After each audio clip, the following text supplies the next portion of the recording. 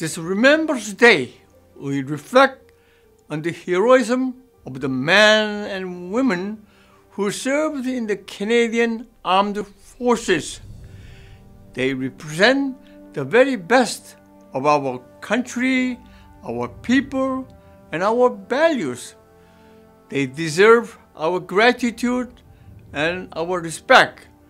I am particularly grateful for those who served during the Korean War without Canada's commitment towards a democratic Korea.